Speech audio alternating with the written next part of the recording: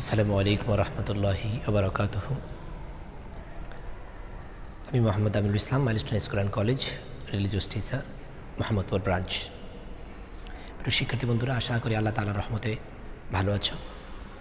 আর আল্লাহ তালা দরবারে প্রার্থনা, আল্লাহ তালা যেন আমাদেরকে এবং আমার পরিবারের সকল সদস্যদেরকে আল্লাহ তালা যেন হেফাজতে রাখেন সর্বোপরি আল্লাহ তালা দরবারে অসংখ্য শুকুর যে আল্লাহ তালা এত প্রতিকূলতার মাঝেও আমার পরিবারের সকল সদস্যদেরকে এবং আমাকে সুস্থ রেখেছেন। এই জন্য আল্লাহ তালা দরবারে শুকুর আদায় করছি। আলহামদুলিল্লাহ। তো শিক্ষার্থী বন্ধুরা, আজকে আমরা আলোচনা করব আমাদের পাঠ্য বইয়ের প্রথম অধ্যায়ের দশ থেকে বারো নম্বর পৃষ্ঠা। তো এইখানে এই টপিকসগুলোতে আমাদের যেই যেই আমরা পড়া পাবো অথবা যেই টপিকসগুলো পাবো, সেটা হচ্ছে এটা আল্লাহ সর্বশক্তিমান, অর্থাৎ আল্লাহ কদিরুন। এটা পাবো। এরপর পাবো নবী রাসুলগণের পরিচয়। এই নবী রাসুল কী বা কারা, এদের পরিচয় সম্পর্কে আমরা জানব। এরপরে জানব এই নবী রাসুলগণের মূল শিক্ষা কী ছিল এবং সর্বোপরি আমরা জানব আখেরাতের প্রতি ইমা আজকে আমাদের টপিক্সের মধ্যে এই চারটি জিনিস আমরা পাব। তো প্রিয় শিক্ষার্থী বন্ধুরা, আমরা তো গত ক্লাসে যে আমরা আলোচনা করলাম আল্লাহ তালার কয়েকটি গুণবাচক নাম এবং এই গুণবাচক নামের দ্বারা আমাদের দুনিয়া এবং আখরাতের কী ধরনের ফায়দা হতে পারে? এই জিনিসগুলো আমরা জেনেছিলাম। তো আমি দেখি আমরা আমাদের গত লেসন থেকে আমরা যা যা শিখলাম, সেগুলো আমাদের মধ্যে আছে কি না নাকি আমরা ভুলে গিয়েছি? তো আমরা ওই গত লেসন থেকে কী কী প্রশ্ন আসতে পারে আমরা একটু আলোচনা করবার চেষ্টা করি, তোমাদেরকে একটু জিজ্ঞেস করি। চিন্তা নেই, আমি তোমাদেরকে প্রশ্ন করব এবং এর উত্তরগুলো আমি দিয়ে দিচ্ছি। জাস্ট আমাদের এখানে তোমাদের করণীয় হচ্ছে গিয়ে যে মনোযোগ দেওয়া। এই অবস্থায় আমাদের একমাত্র করণীয় সেটা হচ্ছে গিয়ে সর্বোচ্চ মনোযোগ দেওয়া, যেহেতু আমরা লাইভ ক্লাসে নেই। এই মুহূর্তে আমাদের জন্য এটাই সর্বোত্তম এবং সর্বশ্রেষ্ঠ পন্থা। তো গত ক্লাসে যে আমরা পড়লাম, সেখান থেকে আমি যদি তোমাদেরকে প্রশ্ন করি যে আল্লাহ তালার পাঁচটি গুণবাচক নামে অর্থ সলিখ তখন আমি বলব যে আল্লাহ কদিরুন, আল্লাহ সর্বশক্তিমান আল্লাহ বাসিরু, আল্লাহ সর্বদ্রষ্টা এরপরে আল্লাহ হালিমুন আল্লাহতে সহনশীল, আল্লাহ গফরুন আল্লাহতে ক্ষমাশীল, আল্লাহ সেমিয়ন আল্লাহ সর্বশ্রোতা এরপর আমাকে যদি প্রশ্ন করা হয় যে আল্লাহ ক্ষমাশীল, এই জিনিসটি বুঝিয়ে লেখো। আল্লাহ গফরুন, এই অর্থ হচ্ছে আল্লাহ ক্ষমাশীল। তুমি দেখো আমরা কত মুহূর্তে মুহূর্তে কত অন্যায় করছি, কত পাপ করছি। তুমি দেখো, আমরা যদি কোনো অন্যায় কাজ করি, পিতামাতার অবাধ্য হই, সাথে সাথে পিতামাতা আমাদেরকে শাসন করেন, আমাদেরকে পানিশমেন্ট দেন, আমাদেরকে বকা দেন। কিন্তু আমরা কত প্রতিনিয়ত আল্লাহ তালা এত নেয়ামত, এত নাজ নেয়ামত ভোগ করছি। এবং এই নিয়ামত ভোগ করার পরেও আমরা আল্লাহ তালার হুকুম, আহকাম, আল্লাহ তালার পছন্দের পথ থেকে দূর সরে গিয়ে নিজের ইচ্ছে মতো চলছি। কই, আল্লাহ তো একবারও আমাদের উপরে গজব, সাথে সাথে আমার পাপের দ্বারা আমার, আমাকে শেষ করে দিচ্ছেন না। আল্লাহ কি করছেন? আমাকে সুযোগ দিচ্ছেন। আর যখনই আমি আল্লাহ তালা দরবারে ক্ষমা চাইছি, আমি যদি চল্লিশ বছর আল্লাহর হুকুম, আহকাম থেকে দূরে সরে গিয়ে আল্লাহ নাফরমানি করছি, আমি যদি চল্লিশ সেকেন্ডের জন্য আল্লাহ তালার দরবারে হাত উঠে, আল্লাহ তালার দরবারে যদি অন্তর থেকে কান্নাকাটি করি। সাথে সাথে আল্লাহ তালা এক সেকেন্ডের মধ্যে আমাকে আমার সকল কুসুরগুলো ক্ষমা করে দেন। সুহানুল্লাহ আজিব এরপরে যদি বলা হয়, আল্লাহ বা সৈরুন অর্থাৎ আল্লাহ সর্বদ্রষ্টা, এই জিনিসটা বুঝিয়ে লেখা। আল্লাহ দ্রষ্টা, আল্লাহ বা সৈর অর্থ আল্লাহ সর্বদ্রষ্টা, আল্লাহ সব কিছু দেখেন। কেমন? সমুদ্র তলদেশে যদি একদম বিন্দু পরিমাণ একটা পোকাও যদি নড়াচড়া করেন আমি যদি অন্ধকারে কোনো কাজ করি, সেটাও আল্লাহ তালা দেখছেন। তুমি দেখো, যেই মানুষ, যাদের কোনো গ্যারেন্টি নেই, যাদের কোনো মানে অস্তিত্ব কল্পনা করার ক্ষেত্রে সন্ধি সন্দিহান, তারা তাদের এই ক্ষুদ্র প্রয়াস দ্বারা, তাদের ক্ষুদ্র এই মেধা দ্বারা, তারা দেখো কত চমৎকার চমৎকার জিনিস আবিষ্কার করে। সমুদ্র তলদেশ, মাটির নিচ পর্যন্ত তারা অবজারভেশন করছেন। তো একটা মানুষের, ক্ষুদ্র একটা মানুষের যদি এমন ক্ষমতা হতে পারে, তাহলে একটা সিসি ক্যামেরা যদি এরকম ক্ষমতা হতে পারে, তাহলে যিনি এই মানুষের স্রষ্টা, তাহলে তার ক্ষমতা কেমন? একটা জড় পদার্থ যদি সার্বক্ষণিক অবজারভেশন করতে পারে, তাহলে যিনি সকল স্রষ্টারও স্রষ্টা এই বইটা যে লিখেছেন, তিনি এই বইটা স্রষ্টা। তবে সকল স্রষ্টার স্রষ্টার কী রকম ক্ষমতা? একটা অণু থেকে বিন্দু বিন্দু থেকে সিন্ধু, যা বলা হয়, অণু থেকে পরমাণু, এই সমস্তগুলো যে অবজারভেশন করবার জন্য আমরা মাইক্রোস্কোপ অনুবীক্ষণ যন্ত্র, বিভিন্ন জিনিস আমরা আবিষ্কার করেছি। তো এটার যদি এত ক্ষমতা হতে পারে, তাহলে আল্লাহ তালা কত ক্ষমতাবান? আল্লাহ তালা যে সর্বদ্রষ্টা এটা আমরা এখান থেকেই প্রমাণ পেয়ে যাই। তো এই ছিল আমাদের আপাতত গত পাঠের জিজ্ঞাসা বা পড়া। আজকে আমরা আমরা আমাদের যেই পাঠ সেই পাঠে আমরা প্রবেশ করি। তো সর্বপ্রথমে আছি যে আল্লাহ সর্বশক্তিমান, আল্লাহ কাদির, সর্বশক্তিমান, সর্ব মানে সব। এখানে আর কিছুই বাকি থাকছে না। শক্তিমান তো আমরা বুঝি পাওয়ারফুল যার চাইতে আর ক্ষমতাধর কেউই হতে পারে না। আল্লাহ এমন পৃথিবীর যত পাওয়ারফুল যত বড় ক্ষমতাধর হন না কেন, তার ক্ষমতা যেখানে শেষ, আমার আল্লাহর ক্ষমতা মাত্র সেখান থেকে স্টার্ট শুরু। আমরা যেখানে শেষ, আমার আল্লাহ তালার কুদরত সেখান থেকে স্টার্ট তাই তো আমাদের দশ পৃষ্ঠার প্রথমে চমৎকার করে একটা কথা রয়েছে, একটা চমৎকার কবিতা রয়েছে যে সেটি হচ্ছে এটা, আল্লাহ যাকে ইচ্ছে ক্ষমতা দেন, যার নিকট থেকে ইচ্ছে ক্ষমতা কেড়ে নেন, যাকে ইচ্ছে সম্মান দেন, যাকে ইচ্ছে লাঞ্ছিত করেন, আর যাকে ইচ্ছে অপরন্ত জীবিক জীবিকা দান করেন। আল্লাহ যাকে ইচ্ছে তাকে ক্ষমতা দেন। কেউ তাকে ক্ষমতা থেকে সরাতে পারে না। আর আল্লাহ যার কাছ থেকে ইচ্ছে করেন যে তার কাছ থেকে ক্ষমতা ছিনে নেবেন, কেউ তাকে চাইলেও ক্ষমতা বসিয়ে রাখতে পারবে না। আল্লাহ যাকে ইচ্ছে সম্মান দান করেন। আল্লাহ যাকে ইচ্ছে অপমানিত করেন। যাকে আল্লাহ সম্মান দিবেন, কেউ তাকে অপমানিত করতে পারবে না। আর আল্লাহ যাকে অপমানিত করবেন, কেউ তাকে সম্মান দিতে পারবে না। আর আল্লাহ যাকে ভালোবাসেন, তাকে এমন রিজিক দান করেন, এমন জীবিকা দান করেন যে তার কল্পনাতীত কোত্থেকে এত জীবিকা পাচ্ছেন সে এটা এই সোর্সগুলো ফাইন্ড আউট করতে পারবে না, আবিষ্কার করতে পারবে না। অতএব আমরা, আমাদের উচিত আল্লাহ যে ক্ষমাশীল, আল্লাহর গুণগুলো ধারণ করা। আল্লাহ যে সহনশীল, আমার আল্লাহ তালার এই গুণগুলো আমাদের মধ্যে ধারণ ধারণ করা। আল্লাহ যে সর্বশ্রোতা, এই জিনিসটা মাথায় রেখে আমাদের জীবন জীবিকা, জীবনের সকল পদক্ষেপ, পদ, সবগুলো স্টেপ গ্রহণ করা। এবং আল্লাহ যে সর্বশক্তিমান, এই জিনিসটার প্রতি ইমান রেখে আমরা সকল কর্মে আল্লাহ তালার উপরে তাওক্কল করে দেওয়া।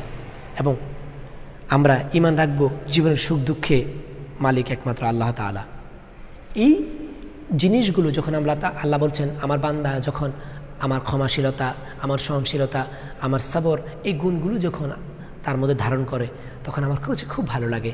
তখন আমার রহমতের ছায়া তার উপরে আগলে থাকে সোহানুল্লাহ আজিম তুমি দেখো, পৃথিবীর কোনো সেলিব্রিটি আমরা যদি ক্যারেক্টার যদি নিজের মধ্যে ধারণ করি, ওই সেলিব্রিটি যদি দেখে, তখন তার কাছে খুব ভালো লাগে। তখন আমরা তার কাছে যেটা চাই, তিনি সেটা পূরণ করবার জন্য শান্তমতো চেষ্টা করে।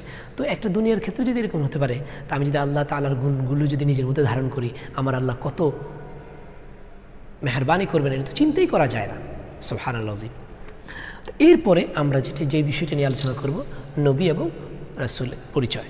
নবী এবং রাসুলগণের পরিচয়। এখন আমরা জানব, এই নবী কারা রাসুল কারা? দুটো শব্দ এখানে। একটা হচ্ছে নবী একটা ওয়ার্ড হচ্ছে নবী। আর আরেকটা শব্দ হচ্ছে গিয়া রাসুল। দেখেন, খেয়াল করেন। নবী হচ্ছে গিয়ে যার উপরে নতুন কোনো কেতাব বা শরীয়ত নাজিল হয়নি। এটা আমরা আমাদের ক্লাস ফোরেও আমরা পড়েছিলাম এরকম যে নবী হচ্ছেন যাদের উপরে নতুন নতুন কোনো কেতাব বা শরীয়ত নাজিল হয় নাই। তবে তারা তাদের পূর্ববর্তী রাসুলের শরীয়তগুলো কি করছেন? প্রচার করছেন। আর রাসুল হচ্ছে যার জানার উপরে কি? নতুন কিতাব, নতুন শরীয়ত, নতুন বিধান, নতুন সাইফা। নাজির হয়েছেন। তাকে বলা হয় রাসুল।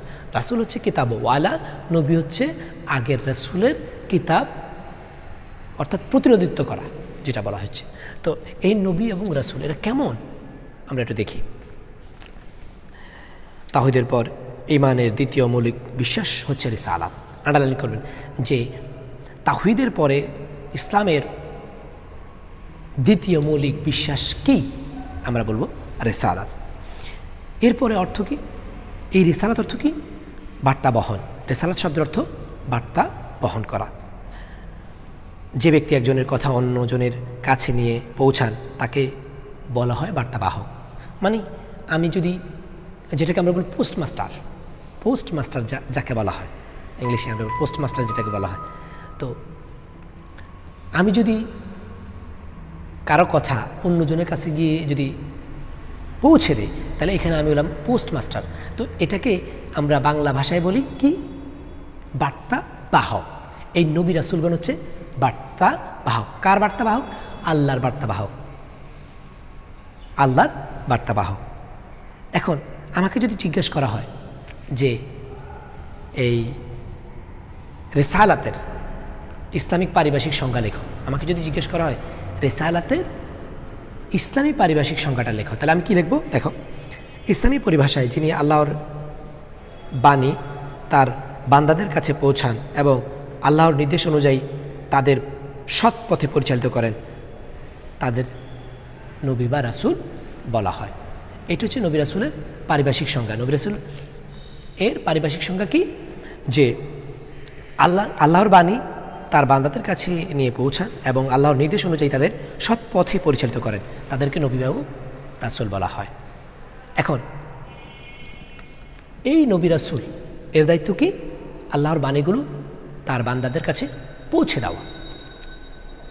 এরপরে আমাকে যদি বলা হয়, রেসালাত কাকে বলা হয়? এক কথা যদি বলা রেসালাত কাকে বলা হয়? তাহলে আমি বলব, নবী এবং রাসুলদের দায়িত্বকেই রেসালাত বলা হয়। নবী এবং রাসুলরা যেই দায়িত্ব, যে রেসপন্সিবিলিটি এই দায়িত্বটাকেই বলা হয় রেসালাত। এরপরে আমরা জানি যিনি গাড়ি তৈরি করেন তিনি এর কলকবজা সম্পর্কে ভালো জ্ঞান রাখেন। হ্যাঁ স্বাভাবিক। যেই যে যে জিনিসটা আবিষ্কার করেছেন তিনি ওই জিনিসটা সম্পর্কে ভালোভাবেই জানেন। যেমন ওর ড্রাইভার তিনি এই গাড়ির পরিচালনা সম্পর্কে তার মধ্যে সকল জ্ঞান রয়েছে। কীভাবে গাড়ি চালালে ভালো থাকবে দুর্ঘটনা ঘটবে না তা তিনি ভালোভাবেই জানেন। সবাই তার কথা মতো গাড়ি চালায়, তার কথা মতো না চললে গাড়ি দুর্ঘটনায় পতিত হয়, অনেক ক্ষয়ক্ষতি হয়, মানুষ মারা যায়। তো যিনি গাড়ি তৈরি করেন, তিনি কিন্তু এর সকল কিছু জানেন এবং তার কথা মতো যদি চলা হয়, তাহলে মানুষ সেফ থাকবে। আর তার কথার যদি অবাধ্য হয়ে যায় হান্ড্রেড পার্সেন্ট দুর্ঘটনা এবং বিপর্যয় আসবেই এটা সিম্পলি মানুষ পৃথিবী ও আকাশের সব কিছু সৃষ্টি করেছেন আল্লাহ তালা আমরা যা কিছু দেখছি এবং যা কিছু দেখছি না, সকল কিছুর স্রষ্টা কিন্তু আল্লাহ তাবারক তালা তিনি সব কিছু লালন পালন করেন, তিনি জানেন কিসে রয়েছে মানুষের মঙ্গল। আমি কিন্তু আমার ভবিষ্যৎ সম্পর্কে অবগত নই, আমার কিসে ভালো হবে, কিসে মঙ্গল হবে, এটা আমি জানি না, কিন্তু আমার আল্লাহ তাবারক তালা যেহেতু আমাকে সৃষ্টি করেছেন, তিনি আমার অতীত, বর্তমান, ভবিষ্যৎ, সকল কিছু সম্পর্কে তিনি অবগত। তো এই জন্য আমার কোনটা ভালো হবে, কোনটা আমার জন্য মন্দ হবে, আমার আল্লাহ তালা জানেন। তো এই জন্য তিনি কোন পথে চললে মানুষের সুখ হবে, শান্তি হবে, তাও তিনি জানেন। আমার কিসে আমার মঙ্গল হবে, কিসে আমার সুখ, কিসে আমার শান্তি, আমার আল্লাহ তাবারক তালা জানেন। কীভাবে জীবনযাপন করলে দুঃখ থেকে বাঁচা যায়, কষ্ট থেকে বাঁচা যায়, তাও তিনি জানেন। তিনি মহাজ্ঞানী। ভবিষ্যৎ সম্পর্কে একমাত্র তিনি জ্ঞান রাখেন। তো আল্লাহ তালা আমার ভবিষ্যৎ সম্পর্কে তিনি জ্ঞান রাখেন এবং আল্লাহ তালা এই জ্ঞান তার পছন্দের বান্দা নবী রসুলদেরকে এবং আল্লাহর অলিদেরকে আল্লাহ তালা কি করেছেন? সেই ক্ষমতা দায় দিয়েছেন। আল্লাহ হচ্ছে নিজের ক্ষমতা বলে বলিয়ান আর তার নবী রসুলগণ হচ্ছে আল্লাহ প্রদত্ত ক্ষমতা বলে বলিয়ান। তুমি চিন্তা করো, একটা মোবাইল, একটা সাধারণ জড় পদার্থ একটা রাডার যদি আপনার চব্বিশ ঘণ্টা নয়, এক দেড় সপ্তাহ আগের কথা বলতে পারে। সেখানে আল্লাহ যাদেরকে ভালোবাসেন, তাদেরকে কি এই ক্ষমতা দিবেন না? অবশ্যই দিবেন। এটা যে বিশ্বাস না করবে তারই মানে দুর্বলতা। তো আমার আল্লাহ জানেন আমার কিসে আমার মঙ্গল হবে, কিসে আমার শান্তি হবে এবং কিসে আমার দুঃখ দুর্দশা বেড়ে যাবে। আমার আল্লাহ এই সমস্ত জিনিসগুলো জানেন। সেই জন্য পথে মানুষের কল্যাণ, কোন পথে মানুষের সুখ, কোন পথে মানুষের ভবিষ্যৎ হবে মঙ্গলময়, কোন পথে রয়েছে মানুষের ক্ষতি, এসব বিষয়ে আমাদের শিক্ষা দেওয়ার জন্য আল্লাহ তালা নবী রাসুল পাঠিয়েছেন। এখন প্রশ্ন আসতে পারে, নবী রাসুলগণকে আল্লাহ তালা কেন পাঠিয়েছেন? This the question this the question সবাই কোট করেন, যে নবী রাসুলগণকে আল্লাহ কেন পাঠিয়েছেন? যে আমাদেরকে কোন পথে চললে আমাদের কল্যাণ হবে, কোন পথে আমাদের সুখ, কোন পথে আমাদের দুনিয়া এবং আখরাতের কল্যাণ নিহিত রয়েছে এবং কোন পথে চললে আমাদের ক্ষয়ক্ষতির পরিমাণটা অনেক কম হবে, এই সমস্ত জিনিসগুলোকে আমাকে হাতে কলমে শিক্ষা দেওয়ার জন্য নবী রাসুলগণকে আল্লাহ তাবারক তারা পাঠিয়েছে এরপরে দেখেন, নবী রাসুলগণ আল্লাহর সবচেয়ে প্রিয় মানুষ, তারা নিষ্পাপ। কেউ যদি চিন্তা করে যে নবী রাসুলগণ গুণা করেছেন, সাথে সাথে তার ইমান চলে যাবে। কুল্লাম বিহ মাসুমুন সকল আম্বে আলী সাল্লাম মাসুম, নিষ্পাপ। তাদের কোনো গুণা নেই। যে ব্যক্তি এটা ধারণা করবে, নবীরা গুণা করেছেন, তাহলে তার ইমান চলে যাবে।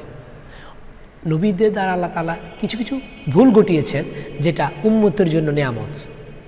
যেমন হজরত আদম আলী সালাম ভুল করেছিলেন।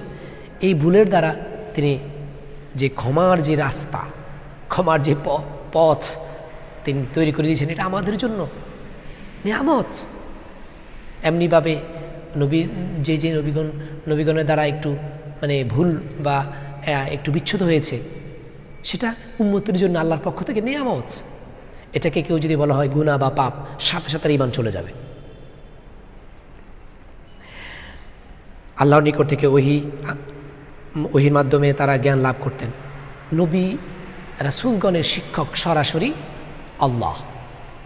তো এখানে তো গাবলা, এখানে ধরনের কোনো কটিলতা, এখানে কোনো সীমাবদ্ধ থাকার কত প্রশ্নই আসে না। মানুষের মধ্যে সীমাবদ্ধ রয়েছে, কিন্তু আল্লাহ তালা যেহেতু সীমার বাহিরে এবং তার দেওয়ার ক্ষেত্রে নবী আম্বি আলী সালামদেরকেও আউট অফ লিমিট ওহির মাধ্যমে, ওহি মানে আল্লাহর বাণী আন্ডারলাইন করবেন। ওহি মানে কি? ওহি মানে আল্লাহর বাণী। এটা প্রশ্ন আসতে পারে। ওহি মানে কি? আল্লাহর বাণী। হজরত ইব্রাহিম আলুসালাম ওহি নবী রাসুলগণের কাছে নিয়ে আসতেন। তাহলে এই ওইটা কার মাধ্যমে আসতেন এই ওইটা আল্লাহ তালা জিব্রাইল আলহ সালাতামের মাধ্যমে আম্বি আলহ সালাতামের কাছে পাঠাতেন। আর এই নবী রাসুলগণ কী করতেন? আমাদেরকে হাতে কলমে শিক্ষা দিয়ে দুনিয়া আখরাতের কল্যাণের জন্য তারা দিন রাত চব্বিশ ঘণ্টা অক্লান্ত পরিশ্রম করেছেন। এবং প্রশ্ন আসতে পারে যে নবী রাসুলগণের আপনার লক্ষ্য বা স্বপ্ন সাধনা কেমন ছিল? দেখেন, নবী রাসুলগঞ্জ জীবনের লক্ষ্য ছিল মানুষের কল্যাণ সাধন করা। তাদের একমাত্র লক্ষ্য এটাই। তাদের দুনিয়াবি এবং আখড়াতে কোনো চাহিদা নেই। একমাত্র চাহিদা আল্লাহ তালার হুকুম বাস্তবায়নের জন্য মানুষকে সেই পথে পরিচালিত করা। এটি তাদের জীবনের অধ্যাবসায়ের মূল কারণ ছিল। আর আল্লাহর অনুগত বান্ধব হিসাবে মানুষদের জীবন গঠন করা, তারা মানুষকে আল্লাহর পথে, কল্যাণের পথে রাখতে অনেক কষ্ট করেছেন। আল্লাহ আল্লাহ রসুল্লাহ আলি সাল্লামকে মারার, মেরেছেন, কত কষ্ট দিয়েছেন। তিনি এই নামাজ প্রতিষ্ঠা করবার জন্য হ্যাঁ এবং এই ইসলামকে প্রতিষ্ঠা কত কষ্ট করেছেন, রাসুলকে মারার জন্য কত ধরনের প্ল্যান করেছিলেন। রাসুল সাহেব শেষদায় গিয়েছেন উটের পচা নাড়ি বড়ি আসলে মানে শরীর মোবারকের উপরে, মাথা মোবারক করে চেপে দিয়েছিলেন। কত কষ্ট দিয়েছেন রাসুলকে। তারপরেও তারা এবং রাসুল সাল্লাহ সাল্লাম এই সত্য প্রতিষ্ঠার ক্ষেত্রে, এই সত্যকে প্রচারের ক্ষেত্রে তিনি একটু পিছপা হন নাই। এরপরে কিছুতেই এত, তারা অনেক কষ্ট করেছেন। কিছুতে তারা থেমে থেমে যাননি, অবিচল, অবিচলভাবে কাজ করে গিয়েছেন। তারা একদম অবিচলভাবে তাদের কাজগুলো সম্পাদন করে গিয়েছেন। এরপরে আমরা জানতে পারব আমাদের থার্ড টপিক্স যে নবী রাসুলগণের মূল শিক্ষা কী ছিল? তারা কোন শিক্ষাটা, তাদের শিক্ষার মূল বিষয়গুলো কী কী ছিল? তাদের প্রশ্ন আসতে পারে যে নবী রাসুলগণের মূল শিক্ষাগুলো লিখাও। তাহলে মূল শিক্ষা কয়টি? ছয়টি। কয়টি? ছয়টি। এক নম্বর হচ্ছে গিয়া তাওহিদ, যে আল্লাহ এক। তোমরা এক আল্লাহর কাছে তোমাদের সকল আরাধনা পেশ করো। তোমরা এইভাবে বিভিন্ন জনের কাছে, অথবা তোমরা কি করো? দেব, দেবী, তোমরা যে মূর্তি পূজা, তোমরা যে সূর্য পূজা, তোমরা যে গাছ পূজা করছ, এটা তোমাদের কোনো কাজে আসবে না। এই সমস্ত জিনিসগুলো স্রষ্টা যিনি তোমরা তার কাছে সারেন্ডার হও। তিনি এক অদ্বিতীয়, অর্থাৎ তাহিদের শিক্ষা তাদের প্রথম চ্যাপ্টার ছিল। এরপরে হচ্ছে রিসালাত।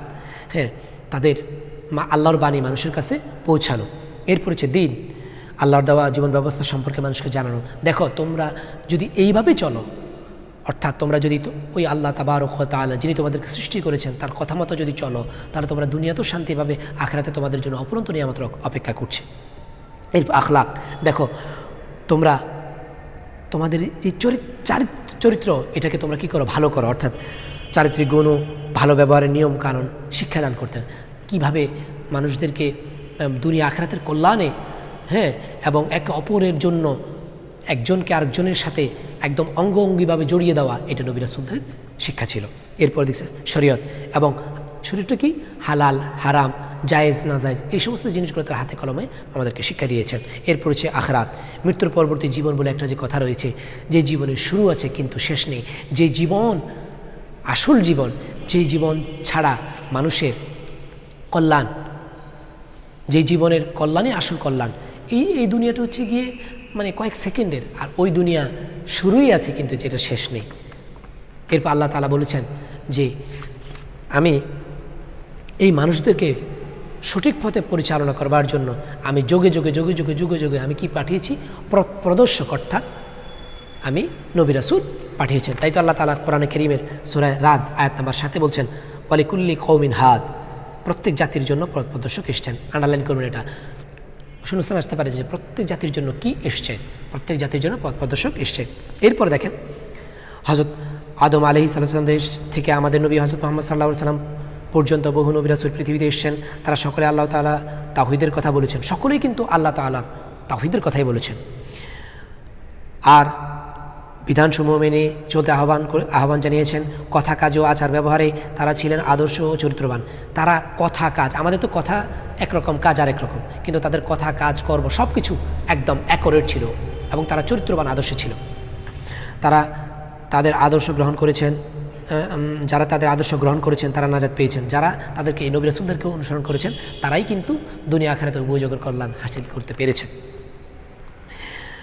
আল্লাহ রহমত লাভ করেছেন, আর যারা বিরুদ্ধ করেছেন, তাদের কথা মানেনি তারা ধ্বংস হয়েছেন। আদ, সামুদ হ্যাঁ আপনি এই যে যত লুথ হ্যাঁ তারপরে নুহ আলি ইসলাম সম্প্রদায়, এদের কথা চিন্তা করেন। বিরোধিতা করেছেন, তাদেরকে আল্লাহ তালা দুনিয়া থেকে নিশ্চিন্ন করে দিয়েছেন। মনিবাজ মোহাম্মদ সাল্লাহ সাল্লামের সর্বশেষ ও সর্ব সর্বশ্রেষ্ঠ নবী। তারপরে আর কোনো নবী আসেনি এবং আসবেও না। এই জন্য তাকে খতামুন নবীন বলা হয়। আন্ডারলাইন করবেন খতামুন নবীন অর্থ কী? খতামুন নবীন অর্থ হচ্ছে সর্বশেষ নবী। এটা আসতে পারে যে খতামুন নবীন শব্দের অর্থ কী? সর্বশেষ নবী। এরপর আমরা যেই টপিক্সটা নিয়ে আলোচনা করব, সেটা হচ্ছে আখেরাতের প্রতি ইমান এটাই বল আমাদের ইমানের যে বিষয়গুলো ষাটটি বিষয় রয়েছে, তার মধ্যে তৃতীয় বিষয় হচ্ছে কি? আখরাত। তৃতীয় বিষয় তৃতীয় যে বিষয়ের উপর হজরত মোহাম্মদ সাল্লাহ সাল্লাম আমাদের ইমান আনতে নির্দেশ দিয়েছেন, তা হচ্ছে কি? আখরাত। তাহলে ইমানের তৃতীয় বিষয় কি? আখরাত। আন্ডারলাইন করবে ইমানের তৃতীয় বিষয়। এটা কি? ইমানের তৃতীয় বিষয়টা এটা ইমানের তৃতীয় বিষয়। প্রায় প্রতিদিনে আমরা বহু মানুষের মৃত্যুর সংবাদ শুনি। পাড়ার কেউ মারা গেলে আমরা খবর নিতে যাই, গোসল দিয়ে দাপন গোসল দিয়ে কাপন পরিয়ে এক স্থানে জড়ো হয়ে মৃত ব্যক্তির জানাজা পড়ি, দোয়া করি, পরে দাফন কবর দাফন করি। পৃথিবীতে কিছুই অমর নয়, সকল কিছু ধ্বংস রয়েছে। কেউই এই পৃথিবীর জমিনে স্থায়িত্ব অর্জন করতে পারবে না। তাদেরকে এই পৃথিবীতে পাঠানো হয়েছে, তাদেরকে পরকালীন সঞ্চয়, পরকালীন পুঁজি, পরকালীন আপনার কি বলে, জীবনের জন্য ইনভেস্ট করবার জন্য এই পৃথিবীর জমিনে আমাদেরকে পাঠিয়েছেন। আর দুনিয়া ও মাজদাতুল আখরা। এরপরে দেখেন যার জন্ম আছে, তার মৃত্যু আছে, কিন্তু মৃত্যুতেই সব কিছু শেষ হয়ে যায় না। মৃত্যুর পরও এক জগৎ আছে, মৃত্যুর পরবর্তী জীবনকে আখরাত বলা হয়। আন্ডারলাইন করবেন, আখরাত কাকে বলা হয়? মৃত্যুর পরবর্তী জীবনকেই আখরাত বলা হয়। আখরাত শব্দের অর্থ কি? পরকাল আন্ডারলাইন করবেন। এরপরে, মায়ের পেটে শিশু যেমন বুঝতে পারে না, পৃথিবী কত বড়, কত সুন্দর, তেমনি মৃত্যুর আগে কেউ জানে না, আখরাত কত বড়, কত বৃহৎ। মানে আমরা যেমনিভাবে শিশু যখন মায়ের পেটে থাকে, সে জানতে পারে না।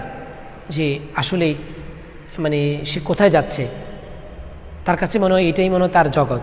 কিন্তু সঙ্গে পৃথিবীতে যখন আসে, তখন বুঝতে পারে পৃথিবীটা কত মানে এই জগতের চাইতে এই জগৎ, অর্থাৎ মায়ের পেট থেকে পৃথিবীর জগৎটা কত বড়, ঠিক তেমনিভাবে মানুষ মৃত্যুর আগে জানতে পারে না পৃথিবীটা কত বৃহৎ। কিন্তু নবীরা সরগন আমাদেরকে বিভিন্নভাবে আখরাত সম্পর্কে, আখরাতের পুঁজি সম্পর্কে কতভাবে অ্যালার্ম করেছেন, কিন্তু আমরা হতভাগ্য। আখরাত সম্পর্কে নবী রাসুলগণের ওইর মাধ্যমে জ্ঞান পেয়েছেন নবী রাসুলগণ, সত্যবাদী ও আল্লাহর প্রেরিত পুরুষ। তাদের কাছ থেকেই আমরা আখরাত সম্পর্কে জানতে পেরেছি। এবং আদম থেকে শুরু করে আমাদের নবী মোহাম্মদ সাল্লাহ সাল্লাম সকলেই কিন্তু আখরাতের কথাই বলেছেন, যাতে আমরা আখরাতের কথা স্মরণ করে আমরা আমাদের দুনিয়ার জীবনকে সেভাবে অতিবাহিত করি। তো প্রিয় শিক্ষার্থী বন্ধুরা, আজকে আমাদের এই পর্যন্তই আমাদের পাঠ রইল। এবং আমি তোমাদেরকে লাস্টে আমি তোমাদের শেষের দিকে, পড়ার শেষের দিকে আমি তোমাদের যে প্রশ্নগুলো এখন বলছি এই প্রশ্নগুলো আমি তোমাদের কি করব? শো করব এবং অবশ্যই তোমরা এগুলো কি করবে? আমি যে এখানে যে প্রশ্নগুলো রয়েছে সবগুলো কিন্তু আমি পড়িয়েছি। মনোযোগ দিয়ে যদি আমার লেকচারটা শোনো, তাহলে সকলগুলো প্রশ্নের উত্তর পেয়ে যাবে এবং তোমরা তোমাদের বিশ্ব শিক্ষকের কাছে সাবমিট করবে। এই পর্যন্তই। সবাই ভালো থাকবে, সুস্থ থাকবে। আল্লাহ হাফিজ। আসসালামু আলাইকুম রহমতুল্লাহি ওবরাকাত তো প্রিয় শিক্ষার্থী বন্ধুরা, আমাদের এই পড়া থেকে যে যে কোশ্চেনগুলো আসতে পারে, সেটা আমরা দেখে নিচ্ছি এক নজরে। কে সর্ববিষয়ে সর্বশক্তিমান। দুই নম্বর হচ্ছে তাহুদের পর ইসলামের দ্বিতীয় বিষয় কি? এবং তিন নম্বর হচ্ছে রেসালাত অর্থ কি? চার নম্বর হচ্ছে রেসালাতে ইসলামী পারিভাষিক সংজ্ঞা দাও। পাঁচ নম্বর প্রশ্ন হচ্ছে নবী রাসুলকে কেন পাঠিয়েছেন? কারা আল্লাহ, ছয় নম্বর হচ্ছে কারা আল্লাহর সবচেয়ে প্রিয় মানুষ? সাত নম্বর হচ্ছে ওহি মানে কি? আট নম্বর হচ্ছে নবী রাসুলগণের লক্ষ্য কি ছিল? নয় নম্বর হচ্ছে নবী রাসুলগণের মূল শিক্ষা কি কি? দশ নম্বর হচ্ছে কারা? পথ প্রদর্শক। এরপরে হচ্ছে প্রত্যেক জাতি জন্য কি রয়েছে? বারো নম্বর প্রশ্ন হচ্ছে, খাতামুন নবীন কে? খাতামুন নবীন অর্থ কি? এবং চোদ্দ নম্বর প্রশ্ন হচ্ছে, ইমানের তৃতীয় বিশ্বাস কি? এবং পনেরো নম্বর হচ্ছে আখরাত কাকে বলে এবং আখরাতের অর্থ কি? ষোলো নম্বর প্রশ্ন হচ্ছে, কোন জীবনে শুরু আছে কিন্তু শেষ নেই? প্রিয় শিক্ষার্থী বন্ধুরা, এই প্রশ্নগুলো আমাদের জন্য পরীক্ষায় খুবই গুরুত্বপূর্ণ এবং আমি আমার টপিক্সে আমি আমার লেকচারের মধ্যে এগুলো খুব ভালোভাবে আলোচনা করে দিয়েছি। সবাই ভালো থাকবে। আল্লাহ হাফিজ। আসসালামু আলাইকুম রহমতুল্লাহ।